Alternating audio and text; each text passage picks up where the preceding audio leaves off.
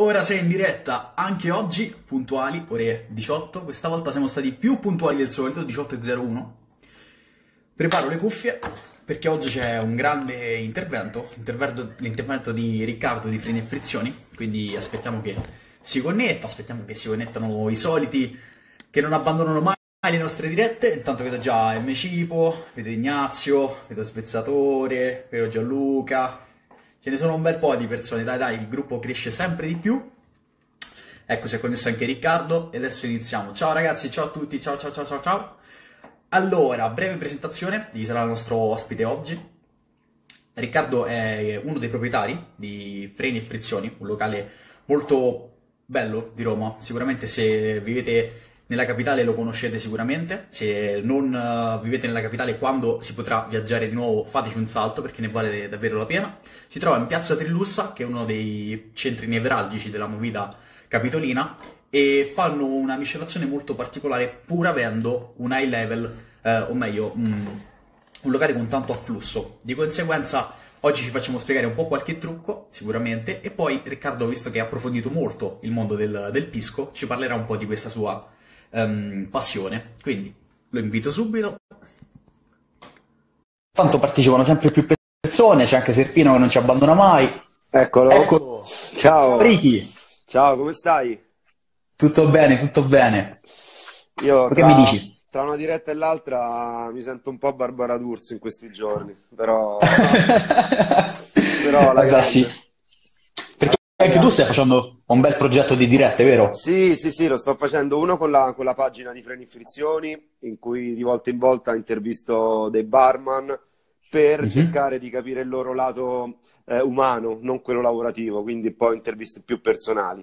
E Ok. un altro che tra l'altro ho iniziato oggi con, eh, con la mia pagina personale, dove intervisto di volta in volta due brand ambassador per cercare Ok. di capire questo ruolo, no, che sembra che ormai va- vada di moda tra i barman che Mm. aspirano poi un giorno a diventare brand ambassador e cerco di capire se veramente è una cosa eh, che merita o no.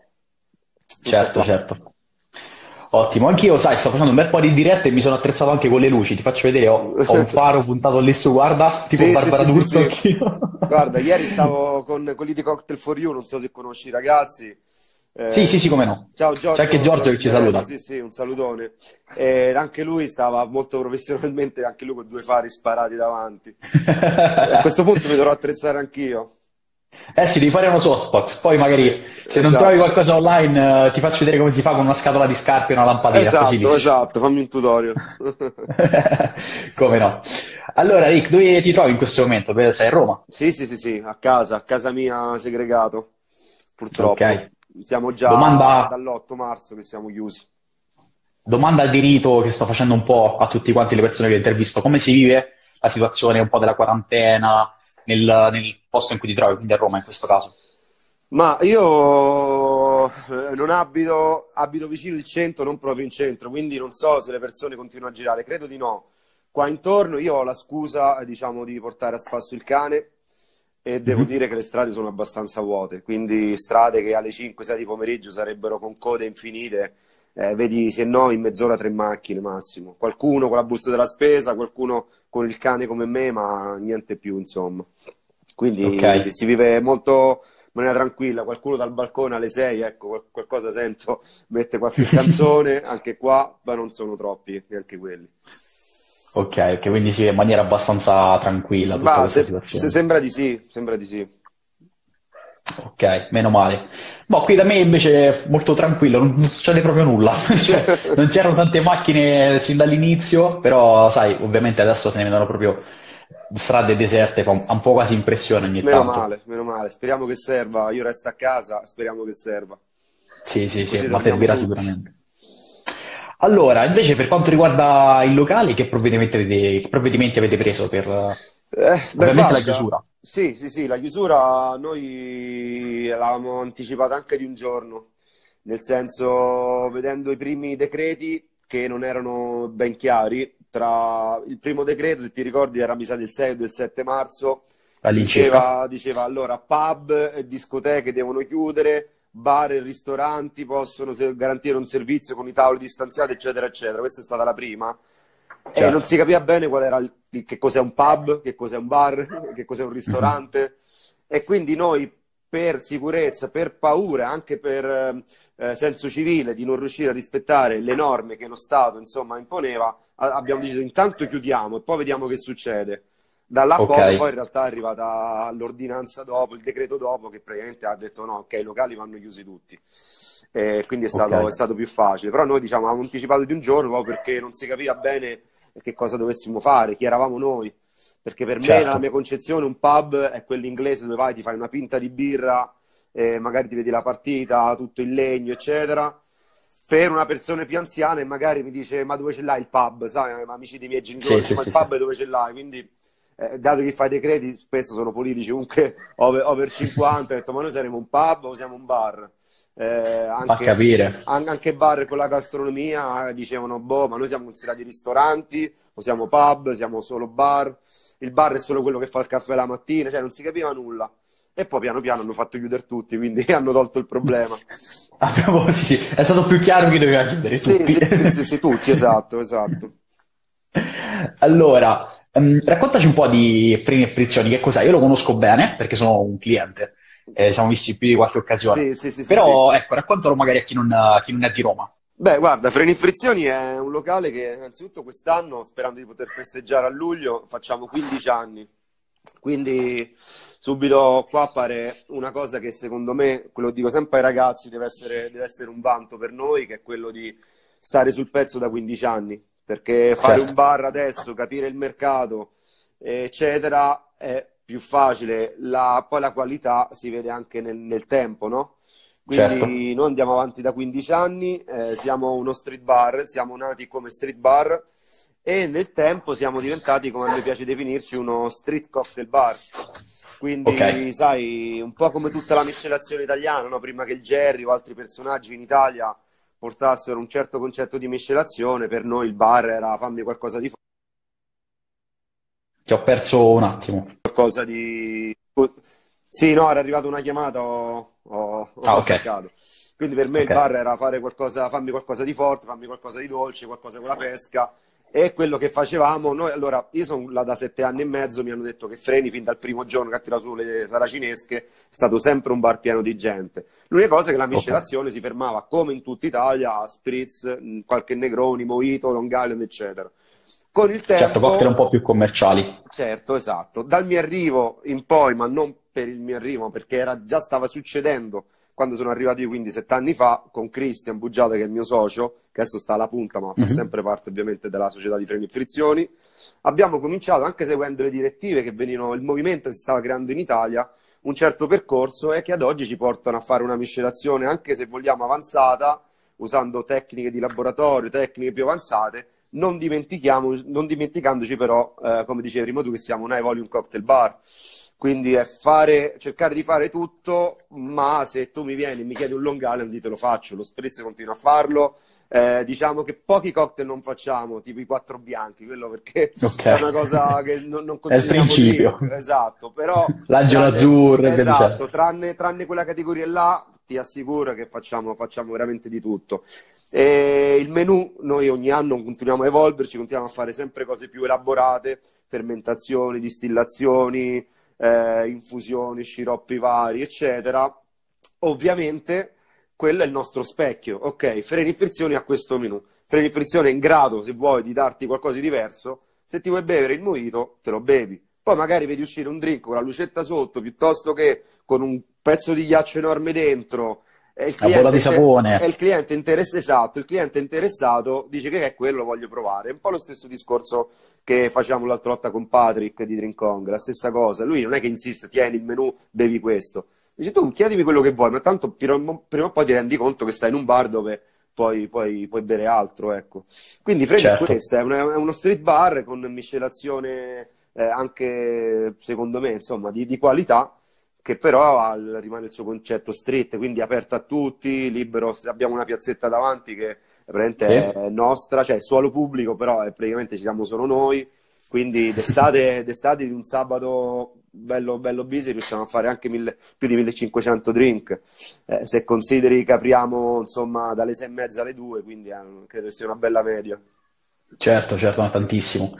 Io non ho avuto la Esatto. fortuna di vederlo di sabato, Freni e Frizioni, perché appunto facendo il barman anche io il sabato è il giorno proprio Nemmeno male, sicuramente almeno significa che lavori. Esatto, non puoi avere di riposo. Però eh, mi è capitato di fare qualche passaggio in settimana anche durante uno degli ultimi progetti che avete fatto, cioè quello delle ospitate, e Sì, è stato veramente delle belle esperienze, delle sì, grandissime esperienze. sì, sì, sì, sì, Ecco, che anche cosa, che perché... cos'era questo progetto? Ma il progetto allora è questo. Io, nel senso, quella cosa che mi piace di più fare al mondo è viaggiare. Quindi un lavoro che ho iniziato io da qualche anno è cercare di portare freni non più solo a livello nazionale, dove ormai eh, per fortuna siamo abbastanza conosciuti. Quello che sto cercando è quello di far diventare freni importanti anche a livello internazionale, perché le persone per fortuna ci conoscono, arrivano clienti, dici, mi hanno suggerito questo nome dall'Australia, da New York, da tutto il mondo.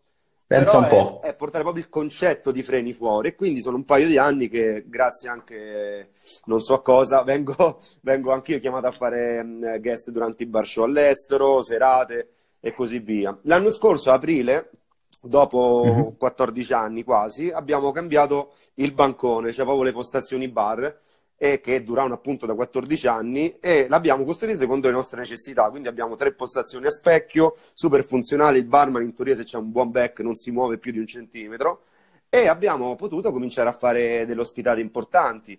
Eh, tu mi nominai quella di Simone Caporale, sicuramente Sì, c'era c'è stato Bruno Van Zan, che è stata la sì, prima, sì, sì, sono stato la anche lì. prima, la prima guest che ha fatto dopo il lancio di Jovem, è stata la prima. E poi quelle durante il bar show, insomma. E quest'anno, quest'anno avevo una bella scaletta che purtroppo è saltata. Mm, Avevo Peccato. con, con- con Mancino, che tra l'altro Giancarlo Mancino, che ho visto prima che si era collegato, dovevamo avere Imcock, quindi per adesso è, è rimandato, eh, Maybe Sammy dall'Australia e, e così via. Vediamo, vediamo se sono solo rimandati o sono saltati. Comunque il Vabbè, progetto dai, è siamo- saranno rimandate, dai, siamo Sì, sì, fiduciosi. sì, sì, sì, sì, sì, anche perché quello, quello che penso è che eh, quest'anno a Roma a luglio e agosto saranno diverse dagli altri anni, una cosa non è mai esistita, no? Luglio, luglio agosto Roma si svuota, quest'anno credo che saremo tutti là, quindi dovremo Certo, uscire e bere. certo. C'è anche Simone Bodini che ci saluta e dice la Sì, sì, sì. rimandiamo. Sim- Simone Bodini oggi è stato con me praticamente due ore, perché è Sì? stato, è stato con me prima alle dirette là degli Ambassador, adesso lo rivedo collegato qua. Tra, tra- tra un po' Siamo... È un modo diverso per stare insieme, dai. Ma sì, sì, poi è domenica, dai, convivialità. Esatto, esatto. Allora, Rick, tu mi hai detto che in questa, in questa oretta, perché purtroppo ho notato in questi giorni che Instagram ci ha concesso sempre meno Sì, tempo, siamo partiti con un'ora e mezza, ora stiamo eh, scrivendo ho sempre più visto. un'ora e si Sì, interrompe tutto. purtroppo sì. Eh, in quest'oretta volevi parlarci un po' del, del mondo che hai approfondito particolarmente, che se non sbaglio è quello del pisco. Esatto, infatti sto bevendo un pisco tonic con un ghiaccio che ho provato a fare clear, è venuto metà e metà. Ehm, sì, guarda, intanto salute, tanto salute, ho qua il sì, mio whischettino. io pisco tonic, salute. E guarda, il mondo del pisco, la mia passione è nata in realtà un po' per caso, un po' me la sono cercata. Nel senso, io amo anche viaggiare da solo e qualche anno fa stavo per partire per il Perù. Quindi ho chiesto a qualche azienda se mi poteva mettere in contatto con, con una distilleria per andare a fare una visita, tolto che io quando viaggio cerco di associare il viaggio mio a qualcosa lavorativa, non vado solo per lavoro, quindi avrei dedicato uno o due giorni alle distillerie.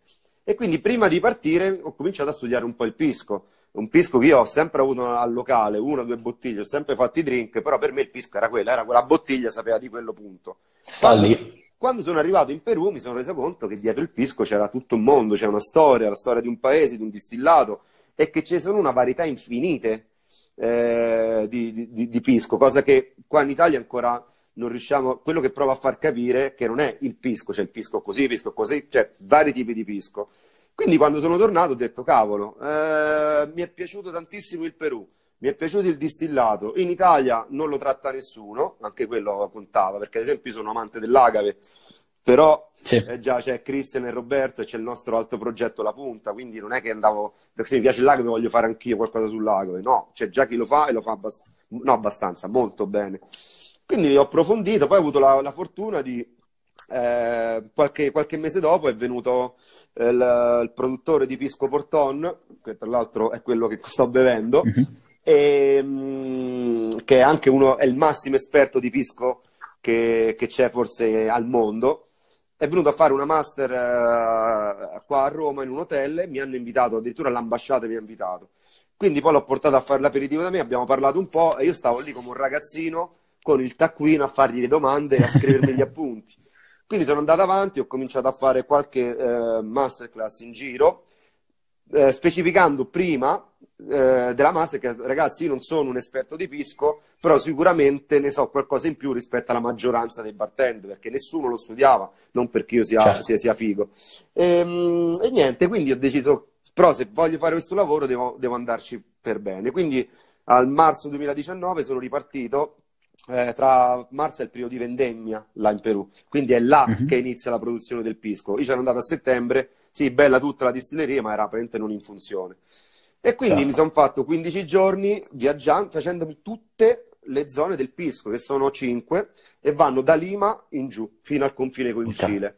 Quindi... Ok, definiamo un attimo che cos'è il pisco, perché magari qualcuno non l'ha mai sentito, dice cos'è questo distillato nuovo. Che se, cos'è il pisco? Sei ermeco del pisco in Italia, è, è, è, di parte, è di parte.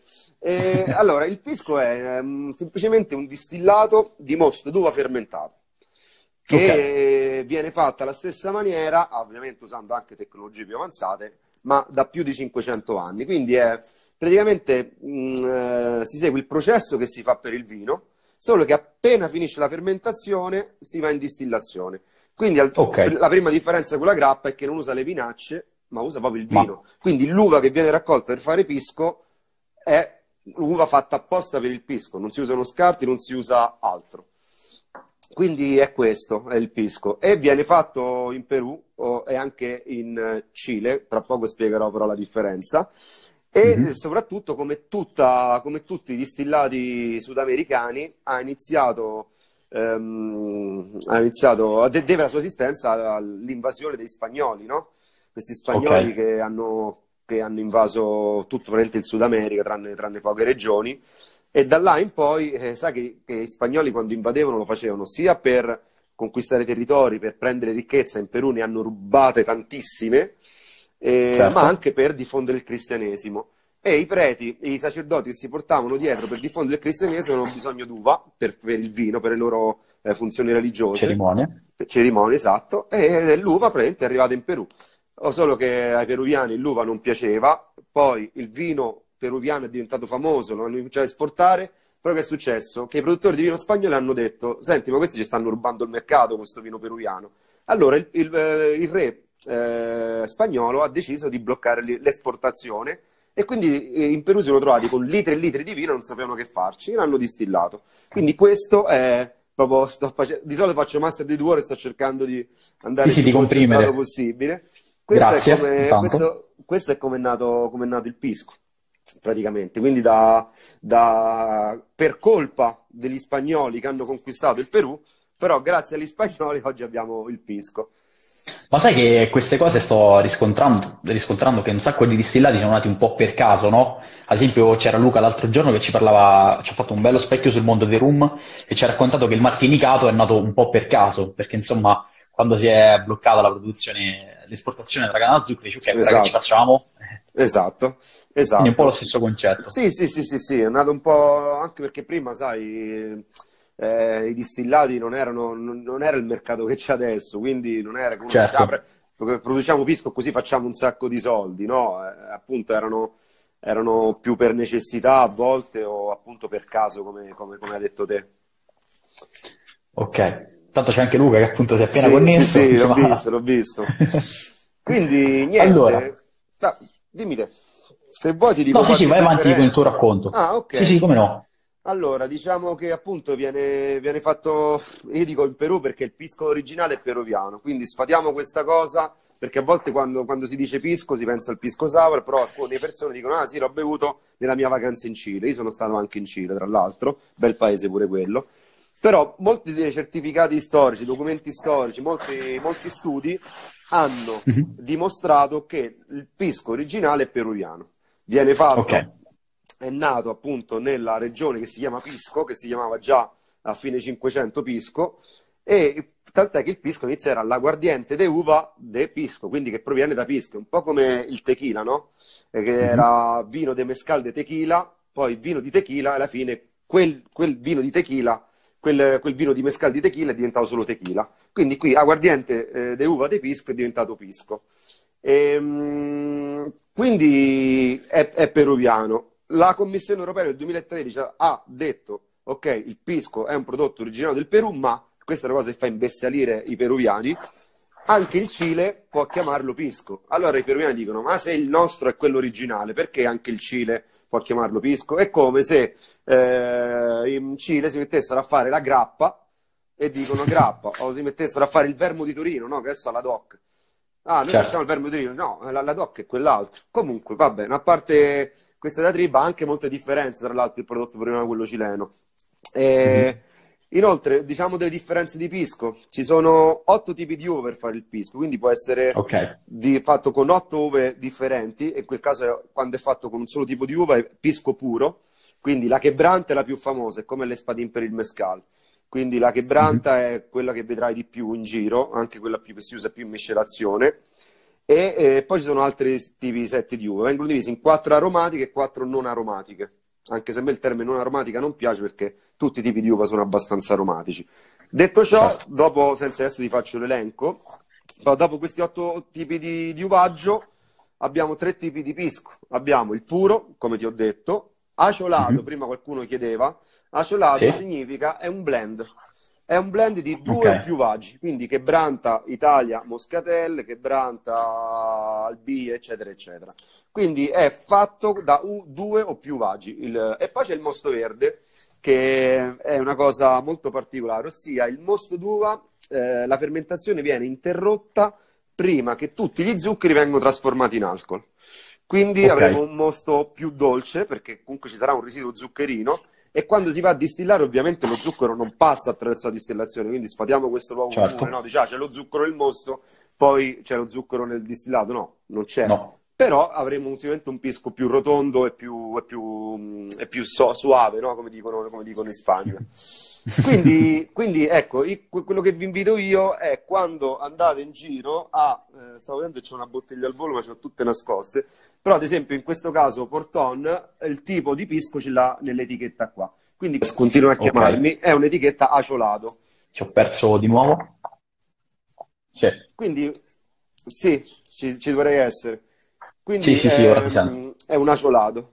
Quindi è un aciolato o ci può essere scritto che Branto Italia. Quindi cominciate, il mio consiglio è far eh, a vedere le differenze che ci sono no? all'interno, all'interno, del pisco e magari eh, se vi capiterà di, di venire a qualche mia masterclass ne assaggiamo anche qualcuno insieme per capire le differenze. No? Poi, no. Ecco, passiamo... questo sì. il brutto il brutto di queste live è che poi Perché se ne parla, non, si può, non si possono scambiare bicchieri. esatto, è il brutto di queste live. Esatto. Ehm, passo velocissimo anche alla produzione. La produzione c'è la vendemmia, che come detto viene tra febbraio-marzo. L'uva viene trasportata eh, nelle distillerie, che si chiamano bodegas in Perù. Viene mm-hmm. scaricata su una macchina, si chiama despaiadore, e quella prende separa il, gli acidi d'uva dai rametti quindi okay. l'uova di qua e la metti via, proprio li, li, separa. Ovviamente prima si faceva a mano, adesso c'è una macchina che fa tutto certo. da sola. Il, l'uva eh, viene poi mandata, pompata, se c'hai una distilleria abbastanza nuova, quindi pompata eh, nei tank di macerazione dove sta lì 24 ore e poi viene mandata nella pressa. La pressa che eh, c'è una pressa, adesso uso quasi tutti quella pneumatica, è proprio un pneumatico, è un cilindro dove c'è come una camera d'aria che si gonfia e si sgonfia. Gonfiando si preme l'uva, mhm. l'uva eh, addosso alle pareti e il succo esce. Eh, certo. Se no, cioè, ho visto anche un produttore, in 15 giorni ho fatto 22 distillerie, eh, c'è anche un produttore che ho visto che ancora pestava coi piedi, no?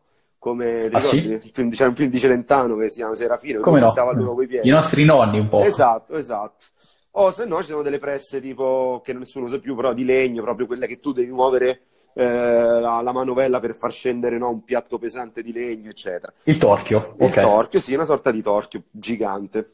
E, e quindi niente, poi abbiamo detto viene pressata, il succo d'uva va in fermentazione, fermentazione che dura tra gli 8 e i 12 giorni, il mosto verde come ti ho detto prima un po' di meno, e poi andiamo alla mhm. distillazione. Qui abbiamo una cosa molto importante da dire, che la distillazione per legge, il pisco, deve essere distillato una sola volta, quindi è uno dei pochi distillati, se non l'unico, che viene distillato una sola volta e in alambicchi discontinui. Ok. Quindi, quindi il prodotto che esce dalla prima distillazione è già il prodotto che noi poi andremo a bere, ovviamente dopo un riposo. Anche qua passiamo invece al riposo, che non ho detto un invecchiamento, perché il pisco peruviano, al contrario di quello cileno, Mhm. può- non, non può toccare legno, non, può- non ci può essere aggiunta acqua, non si può toccare, non si può alterare in nessun modo. Il prodotto Quindi nemmeno l'acqua? Zero. Il prodotto che esce dall'alambicco è già quello pronto per essere messo in riposo, che deve essere per un minimo di tre mesi, anche se di solito la media è un anno. In tanche, di solito ci sono tanche di, di- di acciaio, possono essere anche di polietilene, no? Che è quella plastica in sapore, in odore. E, Sì. e niente, e poi il prodotto viene filtrato e imbottigliato. Quindi una cosa molto particolare, appunto, che io dico sempre del pisco è che viene da una sola distillazione. È un- è un- Pensa che alcuni produttori di cognac hanno chiesto a questo Johnny Schuller, hanno detto, ma com'è possibile che voi con una sola distillazione riuscite ad ottenere un risultato e con una gradazione del genere? Questo ancora non è molto chiaro, secondo me. Loro dicono la magia della materia prima, no? Molto romanticamente. Praticamente c'è questo, dicono loro hanno talmente un'uva particolare con un grado Brix abbastanza deciso che riescono ad allungare sia le teste sia, ehm, sia le teste sia le code. Quindi praticamente se eh, la prima parte che puoi prendere del distillato dopo le teste è a 60 gradi e puoi scendere fino a che non esce un distillato a 20 gradi, tagli la media a 40 gradi. Cioè loro dicono Certo. questo, capito? Il taglio delle teste e delle code più lungo riescono ad avere, eh, riescono ad avere un distillato che ha una gradazione ehm, eh, che, che si alta, desidera. Qua vedo, adatta. esatto, roba da alcolisti, sì, si usa anche il cemento armato, eh, sono, sono quattro quelli, quelli consentiti, quindi è, ehm, eh, scusa, acciaio, c'è cemento, c'è polietilene e qualcuno il, il vetro, però insomma il vetro è più una cosa da nerd, l'ho visto una distilleria, c'ha dei boccioni di vetro, eccetera. L'importante è che non si usa legno. Eh, le terraco- Certo. I vasi di terracotta sono- si chiamano boticas o piscos, tra l'altro anche questi si chiamano piscos da- dagli Inca. Ehm, questi erano utilizzati più prima, adesso sono, sono principalmente sono addobbi per la distilleria, perché semplicemente mi è stato detto che gli artigiani che facevano questi vasi terracotta non, non esistono più, cioè non è una cosa che non si è più tramandata. E Ah, quindi c'è, ok. c'è- c'è qualcuno che lo fa, lo fa per qualche edizione speciale o qualcosa veramente di, di particolare. Adesso posso, li vedi, li vedi perché sta- ci stanno quasi tutte le distillerie, ma sono più da, da ornamento piuttosto che un, che un vero, che un vero utilizzo. Ok, Quindi, intanto no, una domanda.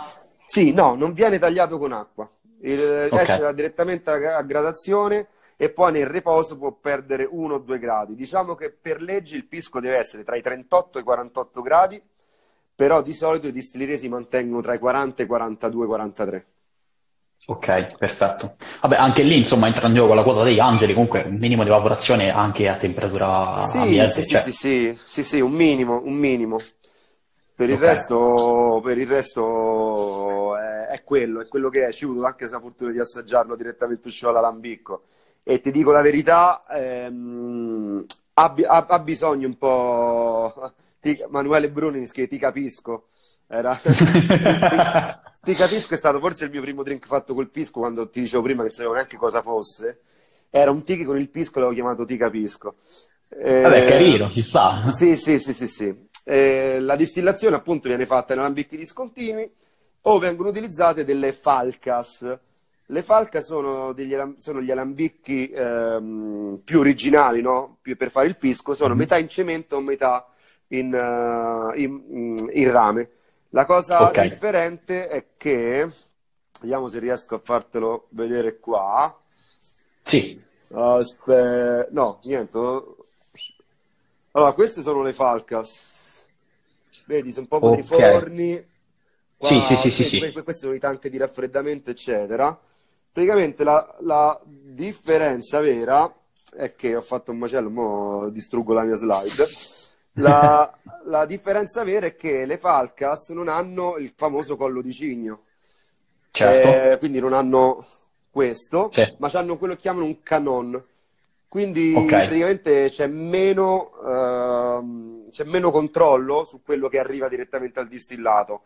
Se per qualcuno potrebbe sembrare un difetto, per altri ovviamente piace. È come se, è come se dici ti piace più il mescale quello più delicato o quello invece che bello, ignorante, Ignorante. affumicato, che sa questa nota di acetone, eccetera. Quindi sono, sono scelte. A me piace il distillato ignorante, dico la verità. Anche prima parlavi di rum, io sono amante di tutta la, la- la serie Claren, piuttosto che gli. Habitation, eh, il giamaicano, quello fatto bene, eccetera. Quindi quello Quindi- proprio il vero prodotto della terra, va, Sì, meno manipolato esatto, possibile. esatto, esatto. Io sono per, per sentire, ad esempio sul tequila, a me piace tanto, a parte la Ocio, la Fortaleza, che la Fortaleza senti proprio il sapore dell'agave che è cotto molto in maniera molto ancestrale, eh, a rispetto ad altre tequile magari anche più rinomate, anche più costose, che invece sono più, più delicate, no? Certo. Quindi, ecco, forse ce l'ho fatta. Il disegno non si vede un diavolo. Eh, no, no, non vedo No, vabbè, purtroppo. Ok. che è bianca, beh, il disegno della falca era niente di che. Però Ok. tanto te te Intanto prima era arrivata una domanda di un ragazzo che diceva mi sono appena connesso, se potevi rispiegare qualcosa. Mi permetto di rubarti un secondo Vai. per dire che tutti quanti questi appuntamenti, anche quelli fatti nei giorni scorsi, anche quello che facciamo oggi con Riccardo, poi li ritrovate sul canale YouTube. Quindi tutta la lezione rimane sempre salvata e è possibile rivedercela quando vogliamo. Ok? Esatto, esatto. E niente, quindi dicevo, questo è quello che appunto succede adesso in una distilleria. Dicevo, arrivano eh, la macchina che separa tutto, poi la pompa che ti manda in macerazione, poi una pompa che ti manda la pressa, la pressa ancora il liquido viene pompato e mandato in fermentazione, di nuovo verso l'alambicco. Invece prima le vecchie distillerie erano ehm, costruite per gravità, dato che non avevano macchinari, quindi la pressa si faceva in alto, si faceva in alto. Poi dopo, una volta pressato, si apriva il tappo e c'era una canalina che ti portava alla, alla macerazione. Aprivi un altro tappo e c'era quella che ti portava alla fermentazione. Poi aprivi la fermentazione, c'era una canalina che ti eh, infilava insomma, il prodotto nei vari tank di fermentazione. Poi di nuovo aprivi i tappi e c'era un canaletto che andava a finire direttamente nell'alambicco che era ancora più in basso. Quindi era Pensa un tutto, po', quindi in tutto montagna per- le facevano ste... Sì, sì, era la distilleria era costruita per gravità, no? Perché il liquido da solo, senza pompe, eccetera, Certo. da solo doveva piano piano eh, fluttuare verso, verso, verso il basso. E... Certo, vabbè, molto intelligente come Sì, la prima sì, ingegneria. sì, ma esatto, esatto, ma vedi delle cose assurde. Ehm, tra l'altro consiglio a tutti di andare, di andare a farsi un viaggio in Perù al di là del Pisco, quindi co- consigli, consigli per i viaggi, dato che adesso non possiamo viaggiare, almeno parliamone. Eh, una cosa che mi è piaciuta più del, del Perù è che il fatto che è un paese straordinario, ha- innanzitutto è stato l'epicentro dell'impero Inca, quindi l'impero Ok. Inca si, si snodava dalla Colombia fino giù in Argentina, eccetera, però l'epicentro è stato Cusco, no? Dove- Machu Picchu, eccetera. E ha una biodiversità assurda, ha un territorio differente, si va dalla costa al deserto, le Ande, la giungla, eccetera. E, mh, ha la biodiversità, ha 187 microclimi di 117 esistenti sulla faccia della Terra e poi la sua cucina è una delle migliori al mondo. Non so se sai, ma ha vinto per otto No. anni di seguito miglior meta enogastronomica per i Travels Awards. Pensa un Perù. po', Quest'anno ha vinto per l'ottava volta o la settima, non mi ricordo. quindi è una meta da non farsi mancare. Sì, sì, sì, sì, la consiglio a tutti. Ok, dov'è la concentrazione di pisco in Perù? Cioè, dov'è, dov'è che lo producono maggiormente? Allora, ti dicevo che la, la zona di produzione è da Lima in giù. Eh, diciamo che la- eh, il- l'epicentro della produzione di pisco è Ica, eh, sta a sud di Lima. E lì è un po' come, non so se sposa di mescale, un po' come Oaca per il mescale. no? Il mescale si fa in diversi stati, Ok. però le- il fulcro della produzione del mescal è Oaca e per, per il pisco è Ica, dove ci sono Ok. molte distillerie. E molte distillerie che non è facile andare a vedere perché di solito stanno un po' fuori dai centri abitati, in strade sterrate, eccetera. Eh, Certo. però poi c'è anche mh, Arequipa, Tacna, Moquegua.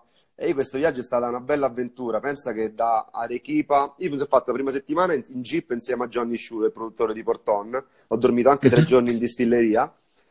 E poi il resto del viaggio, quando, quando abbiamo fatto una settimana dove abbiamo già visto di tutto, lui mi fa: Io devo tornare a Lima che tra tre giorni vado in Messico. Tu che fai? Ho detto: No, io continuo a sud. E lui mi fa: Bravo, complimenti. Penso sei l'unica persona che da qua va a sud perché non sono zone pericolose, ma sono zone tranquille, anzi molto carine, ma semplicemente non sono turistiche. Cioè, se io fossi un Certo. turista, non andrei mai forse a perdere tempo laggiù, capisci? E io invece pensa che un viaggio mi, ha- mi hanno organizzato anche una, una guest al volo a, a un bar che si chiama eh, il Museo del Pisco, che ce n'è due a Lima, una a Arequipa e una a Cusco. E lì ho conosciuto un ragazzo che era innamorato dell'Italia, del calcio italiano, di Del Piero, eccetera. E mi ha detto, io se vuoi domani vado con mio padre giù a Tacna, più o meno 7-8 ore di macchina, se vuoi ti do un passaggio io. E tu dici, boh, ti fidi o non ti fidi, eccetera. Poi era amico di uno del locale dove stavo. E allora, e allora? allora abbiamo fatto, mi è venuto a prendere la mattina, io, io premetto che lo spagnolo che so l'ho imparato viaggiando, eh, nei vari viaggi in Sud America. Okay. Quindi eh, in macchina col padre, lui e io. E poi mi dice, senti, ma ci vogliamo andare a mangiare una cosa al mare, facciamo una deviazione. Ho detto, vabbè. Quindi alla fine siamo andati al mare, siamo fatti un bagno, eh, fatto sta che ci abbiamo messo più di 10 ore a arrivare dove dovevamo arrivare, quindi questo, questo, per dirti che cosa ho fatto per studiare tutte le zone, tutte le zone del Pisco. E ne sono tornato certo. più ricco, nel senso... Beh, sicuramente, ricco, sia di non... esperienze che sì, di conoscenze. Sì, sì, sì soprattutto sì, sì, di conoscenze, di esperienze. È stata, stata anche dura, eh, perché comunque ero completamente solo. Nel senso, io ti ripeto, viaggio da solo, ma un conto vai a fare il turista, sai, conosci questo e quest'altro. Un conto sai, le persone di stile non sono bartender, non sono gente spesso di 30-35 anni, gente, eh, mi ricordo una delle migliori distillerie è stata um, vicino a Arequipa, c'era questo Don, Don Octavio che avrà avuto 70 anni, quindi sono stato là con lui, eh, devi star là in spagnolo, eh, magari ti invita a cena con la famiglia, eh, è, è, tutto bellissimo, però a lungo andare è pure un attimo, devi stare sempre sul certo. pezzo, no? Non ti, non ti mai, non ti rilassi mai.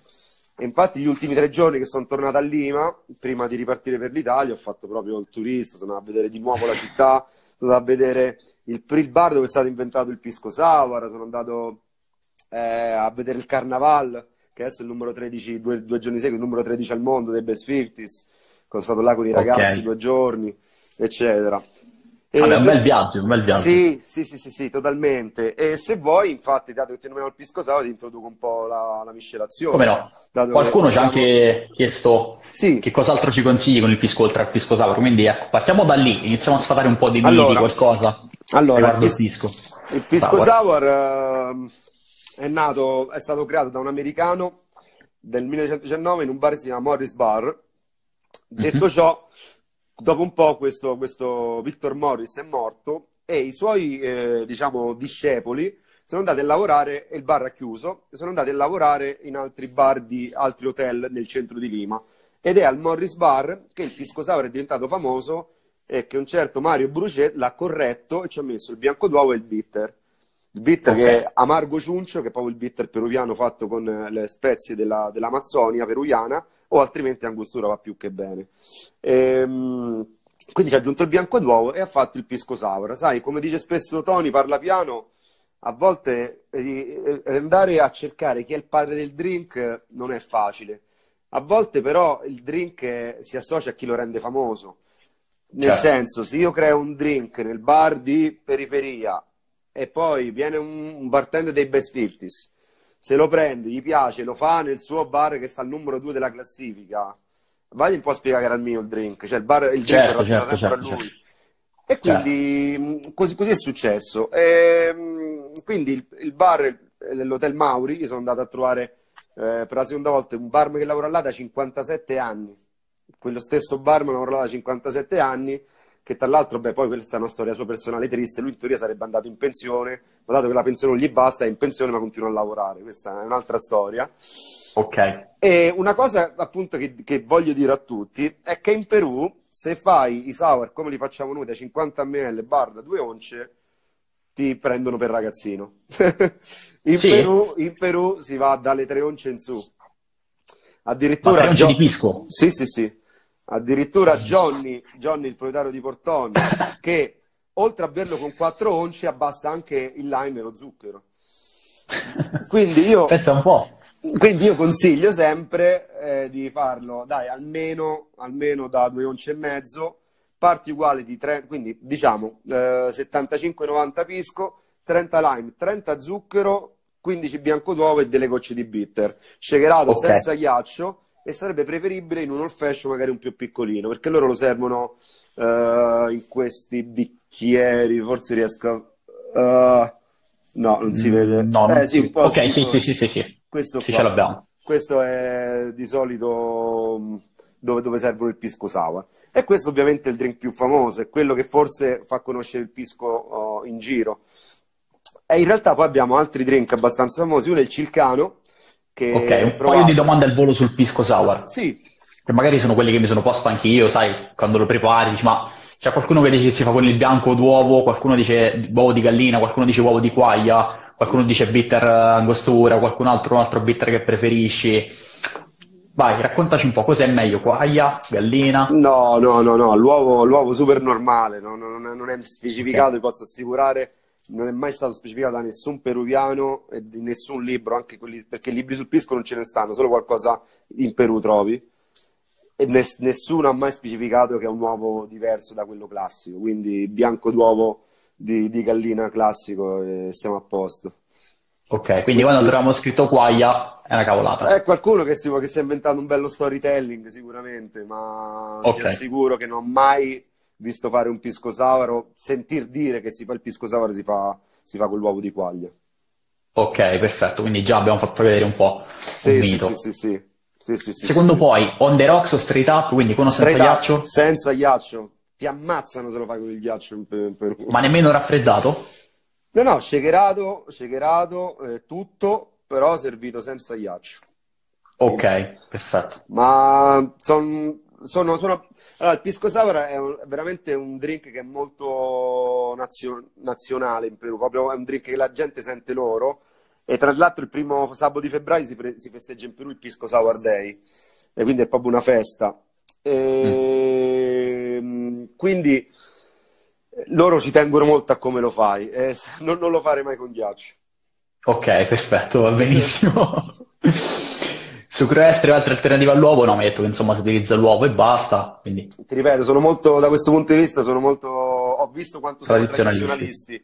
Mentre il whisky, mentre il whisky sour, sì, magari è fatto in America o dovunque è, però è un drink che è ormai internazionale. Il pisco sour è un po' un, Certo. pisco, è un, è un drink molto nazionale, quindi te- per, per le cose tradizio- di tradizione ci tengo che siano tradizionali, altrimenti facciamo un twist e poi lo chiamiamo in un altro modo. Ma il pisco Ok, sour è, è così. Certo, un po' come la pizza in Italia, no? Cioè se metti l'ananas sopra ti linciano, Oddio, speriamo non ci sente Mario Farullo. Eh. Allora, dicevi c'è anche qualcos'altro che possiamo preparare Sì, sì, sì. Allora, ci sono i quattro classici, vabbè, il pisco sour, un altro è il pisco punch. Pisco Mhm. punch che pensa durante la corsa all'oro nel 1850 a San Francisco era il drink più bevuto a- appunto a San Francisco. Era quindi è pisco. È, è solo, allora, se non ti piace l'ananas non te lo bevi, perché praticamente è solo Ok, ananas, c'è appunto pisco, sciroppo di ananas, succo di ananas e, e lime, semplicemente. Era nato come ricetta, si chiama pisco punch da punch, poi ovviamente è stato... ehm, certo. aspetta che faccio passare il cane che va a bere. E poi è stato... Niente, si è incastrato. E, e poi è diventato un drink, eh, diciamo, individuale. Ehm, era Ok, stato creato da un bartender Duncan Nicol appunto durante la corsa all'oro a San Francisco. È uno dei quei drink un po' come faceva ehm, Don The Beach, teneva la eh, ricetta nascosta. Quindi nessuno ha ok, mai saputo la ricetta del, del pisco, del pisco punch perché quando glielo chiedevano lui si nascondeva, lo faceva e te lo, ri- e te lo riportava. E dopo un po' un ex proprietario di quel bar ha rivelato la, ricerca in un- ah, la ricetta in un, in un giornale californiano, quindi più o meno è quella. Poi abbiamo ok, il Cilcano, che è una sorta di Moscow Mule con, eh, eh, con il pisco, solo che non ci va eh, ginger beer, ci va ginger ale. E poi il lime, diciamo che allora qui di nuovo tante persone mettono 10 ml, altri ci, ci, ci sprayano proprio una scorzetta dentro, dipende come ti piace. Ad esempio, a me a Carneval eh, me l'hanno fatto con, con un, diciamo, un culetto di lime spremuto così e buttato squeeze and drop, no? Mhm. Eh, altri ci mettono 10 ml di lime. Io direi se ci metti più lime lo dovresti bilanciare con un po' di zucchero, però secondo me 5-10 ml di lime, pisco, gingerelle e anche qua qualche goccia di, di bitter aromatico.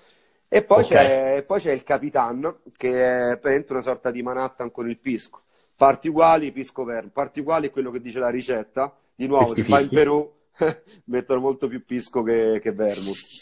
Quindi servito in coppetta, quindi una sorta di Manhattan.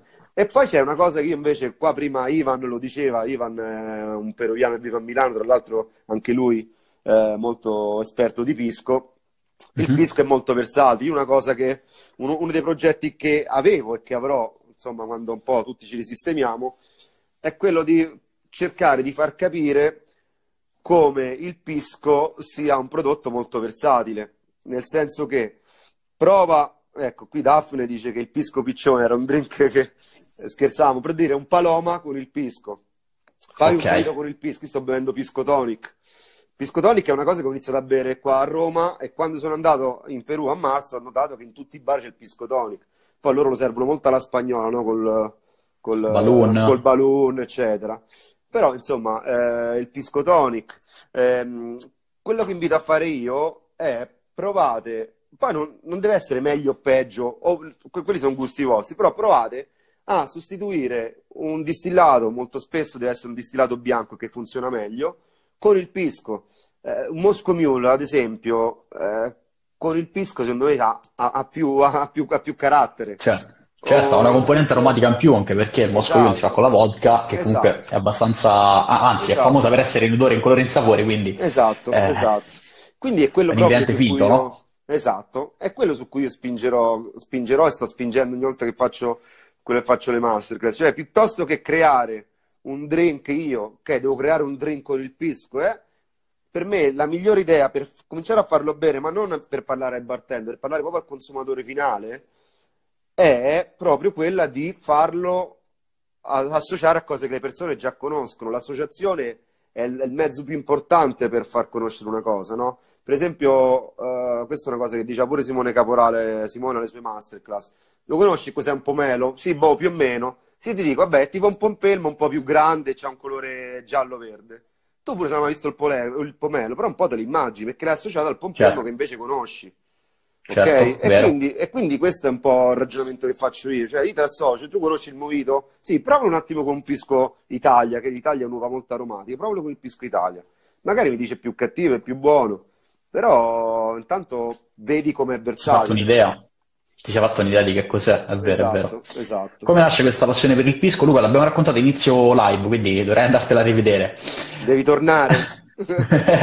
Dovrei tornare. E, mh, ascolta, in, in miscelazione quindi ci hai dato un po' di consigli, cioè il primo magari di sostituirlo a un distillato bianco. Ci restano una decina di minuti, magari vuoi svelarci qualche ricetta tua personale che è molto forte con il pisco? Beh, guarda, ho due, due drink in particolare ehm, che sono andati molto forti nel menù scorso per inflizione, sono stati due dei best seller. Il primo, non so se riesco, così forse basta che si metta a fuoco un po'. Sì, dai, ce Eh, l'abbiamo più o meno. ehm, l'ho chiamato Back to the Pisco perché era un po' eh, come Back to the Future, un po' il pisco sour del futuro. Sai che adesso va Ok, molto di moda e noi lo facciamo anche usare ehm, acido citrico, acido malico, certo, eccetera, certo. o fare questi drink dal colore un po', eh, appunto, da- con un po' di colore, però trasparenti, clear. E quindi ho Sì, fatto veramente pisco, ho creato, ho riprodotto il lime con- usando gli acidi, semplicemente, eh, simple syrup semplicissimo, e poi ho usato un'acqua di cocco, però con il Butterfly PT, che è quel tè che dà colore ma ok, non dà sapore. Quindi quel- questo tè blu che a contatto con l'acido diventa violetto rosa. cambia colore. Quindi in stir, ovviamente senza bianco d'uovo, senza shake, in stir con un bel cubo di ghiaccio dentro ricoperto d'oro Edibile. commestibile.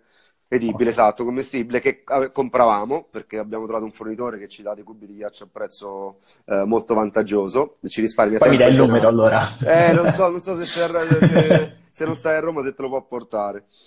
No, dai, sono in E... provincia, sono Esatto. cambio provi- Frosinone, quindi vabbè, Mm, No, fa non credo nulla. che arrivino. Eh, però potresti aprire una filiale. Ah, E, e quindi questo è un cocktail che, che è andato tantissimo. Invece un altro che è andato tantissimo, che io l'ho fatto quasi per scherzo ad una master che avevo- ad una guest master che ho fatto a Bergamo con gli amici del Barriere, e l'ho mhm, chiamato Aperuano. Aperuano perché era un drink fatto da aperitivo, quindi Aperuano, e poi perché a Roma è mhm. come dire, oh, Aperuano, con la mano così, no? Ehm, è, un drink probabilmente n- zero complessità, zero innovazione, ma è stato il più venduto della lista scorsa ma per distacco, tipo centinaia e centinaia di drink in più rispetto al secondo più venduto. È semplicemente pisco, aperol in parti uguali, poi c'è lime e pompelmo, succhi in parti uguali, sciroppo di passion che funziona sempre, menta e top di soda al pompelmo. Sapore super fresco, questa, questa pure ti faccio vedere un po', qua si vede più Ok. o meno. Sì, sì, sì, sì. Sapore super fresco, ovviamente. eh, Io ho giocato, io spesso faccio i drink che magari non dico non mi berrei, ma non sono il mio stile di drink, però faccio i best seller perché basta che vai a ricercare le persone che cosa eh, cercano di più. Quindi ci metti, ci metti Pompelmo Rosa che adesso eh, sta andando tanto, ci metti il passion fruit, ci metti l'apero, comunque lo spritz, ragazzi, che, volea- che volete o no, è sempre il drink più venduto, uno dei più venduti in Italia. Quindi eh, possiamo possiamo dire quello che vogliamo, metti Aperol, la gente lo compra, perché le pippe che ci facciamo noi sono pippe da bartender. Vero, vero, Piccola, vero. pi- piccola premessa. Sì, tanti dicono è un drink un po' banale. Sì, ok, intanto è uno dei più venduti al mondo. Tu ce l'hai un drink più venduto al mondo? No, Esatto, esatto, prima fallo, poi esatto. parliamo. Sì, ma poi senza spritz, eh, sa quanti bar fallirebbero, quindi... Ma infatti, E invece un altro che avevo fatto era, ho giocato con il nome, l'avevo chiamato Three Grapes, quindi ho utilizzato solo, co- solo cose fatte con l'uva, quindi ho fatto un cordiale aromatico con un vino aromatico, avevo utilizzato un vermouth e ho utilizzato il pisco, quindi tre cose che vengono ok. da- dall'uva. Tre, sì, appunto, tre grapes, quindi. Allora, non so- leggiamo qualche Tanto ti chiedono un così. consiglio. Ti Esatto. chiedono un consiglio su che tipo di pisco acquistare in Italia. Eh, che tipo di pisco acquistare in Italia? Beh, innanzitutto dipende se sei un barman o no, perché i, i- i distributori hanno vari tipi di brand. C'è Compagnia che ce l'ha uno, c'è Inebre che ce l'ha un altro, ci sta Ghilardi che ce l'ha un altro, eccetera, eccetera. Eh, dipende, allora, se ti piace qualcosa di, di più secco, ecco, vedi, Pisco Fontana Perù, che è stato appena acquistato da che è stato appena preso da Velier. Se ti piace qualcosa di più secco, vai, vai su un Quebranta. Se ti piace qualcosa di più aromatico, vai su un Italia, anche perché sono quelli che troverai con più facilità. Allora, Quebranta è l'uva non aromatica in Capanchi, Mario Farulla si è collegato. Sì, intanto Eh, salutiamo anche Mario. eh, Mario, grande sostenitore della pizza con l'ananas. Quindi, se eh, ti piace qualcosa di più aro- quindi troverai il Quebranta e, e l'Italia. Io ti consiglio, se trovi, di prendere un mosto verde. Poi dipende l'uso che ne devi fare. Se è per casa, per bertelo, prendi un mosto verde, spendi, costa un po' di più il mosto verde, perché essendo, essendo una gradazione alcolica più bassa, ti ricordi, tu detto la fermentazione si interrompe prima? Certo. Quindi ci vuole più uva per fare il mosto verde e quindi costa di più. Eh, che ne pensi del costo del Costo glass del di un bar? Ah, Allora, allora, ti faccio una domanda prima che, che rispondi. Eh, quanto tempo credi che impiegherai a rispondere? Perché siamo veramente quei minuti allo stretto. Te- quanto, quanto- quanto ci devo mettere? Ci metto 30 secondi? Ok. Dimmelo Sì, te. all'incirca. Sì, all'incirca perché sta per terminare, purtroppo, Va, sai, ci hanno passato i tempi Instagram. Vai. Io, io ci combatto praticamente ogni giorno con questa cosa. Secondo me il trucco è cre- cercare delle alternative. Sul mercato eh, o dai vostri fornitori si trovano anche tanti bicchieri molto belli che costano intorno all'euro, 80 centesimi l'uno. Quindi se tu vedi un bar che c'è un bicchiere da 3 euro e passa, all'uno sicuramente c'è qualcosa di molto simile anche a di meno. Ok, no, Però, super però- sintetico. però è importante, in un bar come il mio dove si li rubano, si rompono, la gente ci passeggia in giro per strada, e devi, devi tenerlo molto ad occhio il drink cost di un bar, di, di un bicchiere. È vero, è vero, è fondamentale, anche perché, insomma, anche quelli fanno cassetto, no? Certo, certo. Io bevo a ciolato Allora. Beh, a ciolato io quello dico sempre nei cocktail, quello preferisco utilizzare perché la via di mezzo. Essendo un blend di uve non aromatiche aromatiche, invece che pensare uso questo, uso questo, usi un blend e direttamente vai, vai con quello. Ok, allora Riccardo, noi abbiamo terminato il tempo a disposizione per noi oggi. Io intanto ci tenevo a ringraziarti perché mi ha fatto davvero un bel... Innanzitutto hai insegnato qualcosa a me sul mondo del fisco, che sai, come hai detto tu, sì, è quella bottiglia che è al bar, conosci, però in maniera così un Certo, po' più certo. approfondita non, non ci avevo mai fatto caso, no?